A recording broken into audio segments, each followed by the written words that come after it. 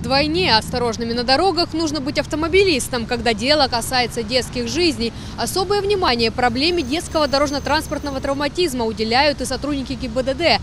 Круглый стол, посвященный этой теме, прошел в администрации Щелковского района.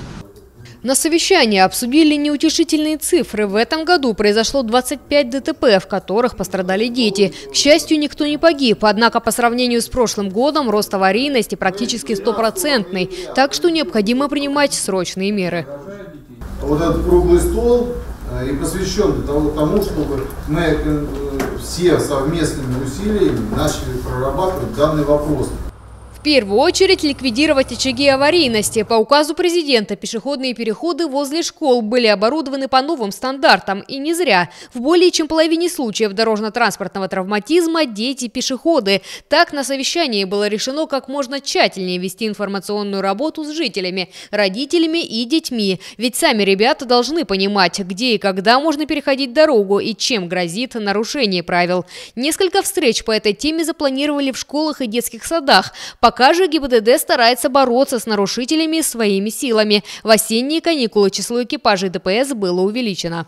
Увеличение экипажей ДПС, профилактическая работа.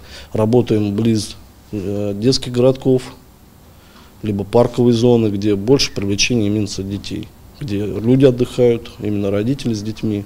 Туда мы выставляем экипажи, привлекаем более штабные уже работники работают у нас. Специальные площадки для изучения правил ПДД необходимо создать в каждой школе Щелковского района, считают сотрудники отдела ГИБДД. В таких автогородках дети смогут не только узнать теорию, но также изучить практику. Нам необходимо заняться оборудованием э, современных площадок для того, чтобы в школах, чтобы дети наши э, изучали правил, элементарные правила дорожного движения в учебных заведениях.